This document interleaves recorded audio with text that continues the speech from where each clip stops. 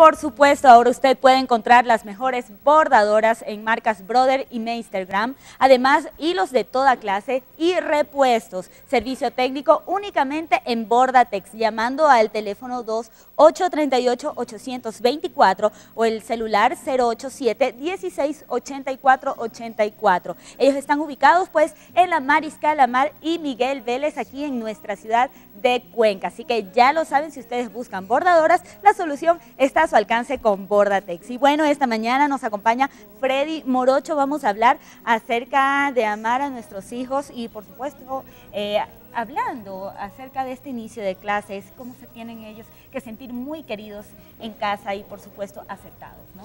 Buenos días Fabi, es un privilegio estar con ustedes comienzan clases y hay niños que no quieren ir a clases, otros que dicen no, se acabó las vacaciones, o están teniendo problemas en el colegio, se cambiaron de colegio, algunos están en la transición de la escuela al colegio y también están teniendo muchas dificultades y eso afecta también a los niños porque tienes que dejar tu casa todos los días a las 6.30 o 7 de la mañana y tienes que ir a pasarte 4 horas, 5 horas, 6 horas estudiando y tienes que regresar a la casa y qué es lo que los niños esperan de un padre, ¿no? Porque Ahora las clases se convierten en el trabajo para ellos, es su responsabilidad, tienen que sacar buenas notas y todo lo demás.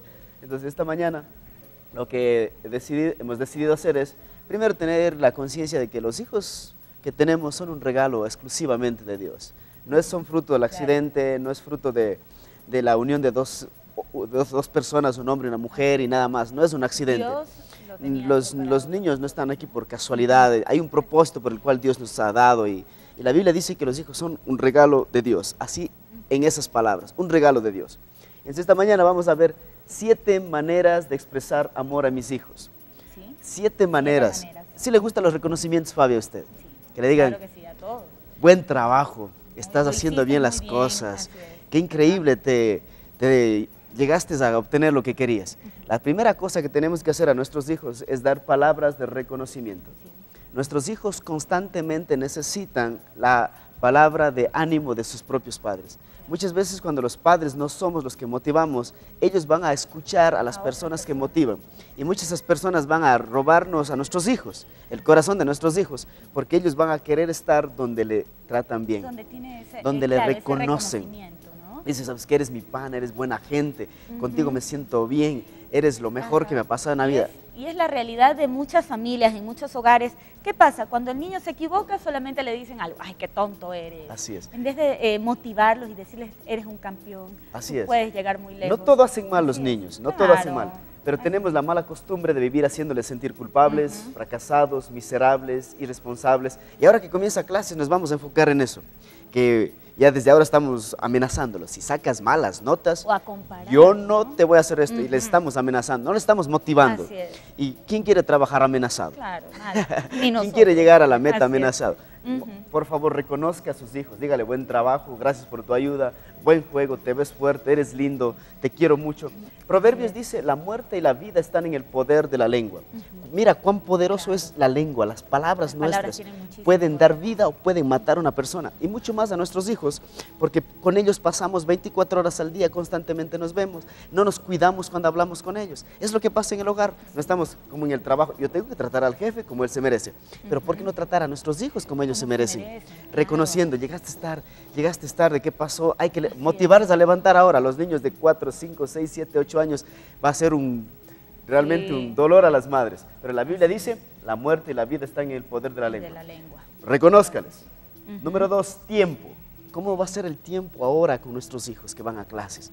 Yo sé que en las vacaciones ahora hemos tenido un poquito más de tiempo para pasar con ellos, les hemos visto dormir un poco más y todo lo demás, pero una de las cosas que como padre descuidamos es pasar tiempo con nuestros hijos. La pregunta es, ¿cuánto tiempo pasas tú con tu hijo en el día? Ahora, ¿sabes? Yo les recomiendo algo. Los niños van a sentirse amados, van a sentirse que usted está interesado en ellos cuando vaya a las reuniones del colegio. Sabes que muchos niños, muchos estudiantes en el colegio están preocupados porque sus padres nunca van a las reuniones y ellos se sienten mal porque hay compañeros que viene el papá, la mamá, hasta el abuelo a veces. Y vienen a recogerles, vienen a recogerles todos los días. O van de repente a preguntar a la escuela, van a preguntar cómo está avanzando. ¿cómo está tu tiempo en cuanto a dar tiempo para ver cómo están tus hijos en la escuela? La Biblia dice, mirad pues como andéis no como necios, sino como sabios, aprovechando bien el tiempo, porque los días son malos. La Biblia es tan clara, dice, aprovechen bien el tiempo. Y sabes, el mejor tiempo es cuando tú pasas con tu familia. No es con tus amigos, no es fuera, no es de viaje solo. El trabajo es importante, pero el mejor tiempo invertido de un hombre es con su familia, con sus hijos. Ahora, ¿cómo vamos a darnos tiempo? Que ellos están estudiando, tú estás trabajando. Sean creativos, por favor. Aproveche el tiempo con sus hijos. Número tres, contacto físico. Ahora tú tienes que pasar no solo pasar tiempo con ellos, sino tiene que haber contacto físico. El contacto físico es un lenguaje para expresar amor, pero nuestra cultura hace ver el contacto físico como, algo que, bueno, yo no puedo tocar a mi hijo porque yo soy hombre y los hombres no nos abrazamos y con las hijas tampoco, cuidado, ¿no? Pero sabes, el contacto físico es una expresión de amor. Te voy a leer algo. En la antigua Rusia los niños eran considerados como objetos y los orfanatorios estaban llenos de ellos. Así que cuando se permitió entrar a Occidente, el propósito de visitarlos era abrazarlos, tocarlos, hacerles sentir amados por alguien. y, cuando cuando un niño se siente abrazado, su autoestima crece, su, inteligencia, se, su inteligencia se desarrolla, se siente protegido. Y por eso los viajes que hacíamos desde América, Rusia, los misioneros de Capilla Calvario y otras iglesias más, el propósito más grande con los misioneros que hablábamos era no solo es dar cosas, sino abrazarlos a ellos. Sabes que visitamos un orfanatorio el domingo, nada más aquí en Cuenca también, y son fascinados que les abracen, están fascinados que se les toque jugar con ellos. Eh, no solo es pasar tiempo con ellos, te puedes imaginar pasar el tiempo y hablando y, lejos. O distante, bueno, les voy a leer un cuento.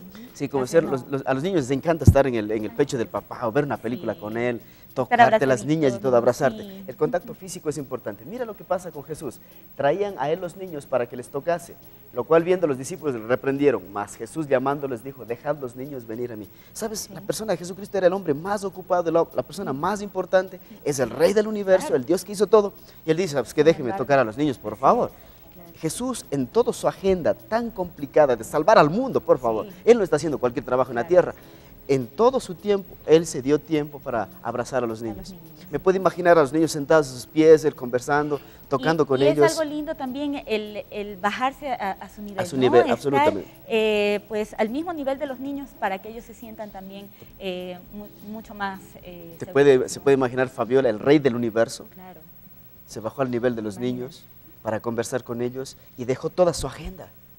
Sus discípulos y todos quedaron sorprendidos dejó toda su agenda. ahora, ¿por qué no dejamos nuestra agenda para pasar tiempo con nuestros niños, pero para tocarles, abrazarlos, hacerles sentir amados? ¿Qué más tenemos? Recompensados. Los niños necesitan ser recompensados. ¿Quién? ¿Usted trabaja aquí sin una recompensa? Cada mes llega su cheque, ¿no? Para ir a comprar las cosas y todo lo demás. dar y recibir regalos es una expresión de amor universal. Y, ¿sabes? Estamos interesados en, dar un regalo, una tarjeta al jefe, al amigo, al compañero del trabajo, pero nunca pensamos que nuestros niños quizás necesitan ser recompensados en algo. Sacaron una buena nota, hicieron bien el trabajo, se levantaron temprano, llegaron, hicieron los deberes, están ahí donde en la casa. Se esfuerzan ellos también. La recompensa puede ser una, una, palabra de ánimo, la recompensa puede ser comprarle algo que tanto a él le gusta, no sé, una pelota, quizás quiere un carro, un juguete, ¿no? Quizás quiere ir a la, a la heladería a comer un helado y todo lo demás. Mira, Pueden ser cosas pequeñas, pero podemos hacerlas realidad. ¿no? Los, regalos son ingredientes que nos hacen sentir amados. Mira lo que dice Juan 3:16. Dios nos regaló a su Hijo a nosotros, para que nosotros seamos parte de su familia, porque de tal manera amó Dios al mundo, que Dios es un regalo. Y muchas veces nosotros los hombres somos egoístas con nuestros propios hijos y estamos pensando en comprar cosas para nosotros. Tengo que ahorrar para. Para y para y para, pero ¿sabes qué? Disfruta de dar a tus hijos. Yo creo que el tesoro más grande de un padre son los hijos. El tesoro más grande de un hombre es su esposa. Entonces, ¿por qué no recompensarlos? ¿Por qué no comprarle un regalo? Cuando uno compra un regalo, inmediatamente el niño dice, mi papá pensó en mí. Mi papá estuvo pendiente de mí, mi papá sabe que existe. Imagina, tú te vas de viaje a Guayaquil, llegas allá, le compraste algo, le trajiste, dice, papi pensó en mí. Y se siente feliz, aunque le compres un chocolate. ya, se nos acaba el tiempo y... Terminamos con esto. Servirlos, servir a nuestros hijos.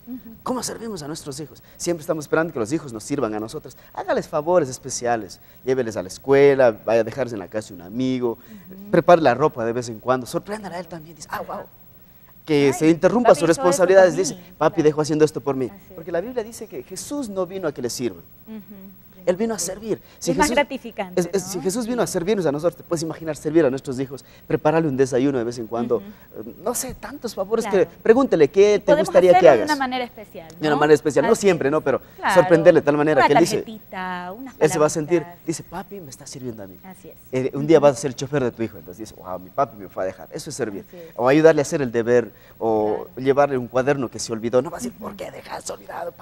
Sabes que no hay problema, hijo, te voy a dejar el, cuaderno que olvidaste, eh, arreglarle el uniforme, cosas como esas. Él se va a sentir como amado, servido, protegido, valorado. A sentir que tu hijo sea amado por ti y tu hijo va a responder al amor. Por eso Jesús dijo, haz a las personas lo que te gustaría que, te, hagan, a ti. Si te gustaría que tus hijos te respeten, te amen, te sirvan, estén pendientes de ti, haz lo mismo con ellos, porque Jesús lo dice. Y lo que dice Jesús resulta, funciona. funciona, así, de Muchas gracias, Freddy, por acompañarnos aquí en nuestro programa. Lo vimos en el periódico también, ahí con el equipo de, de Enforma.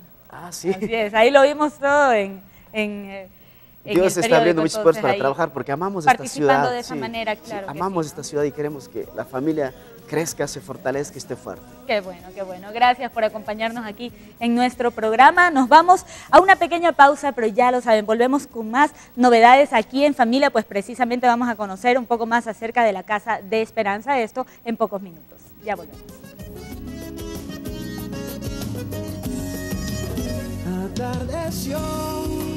y el corazón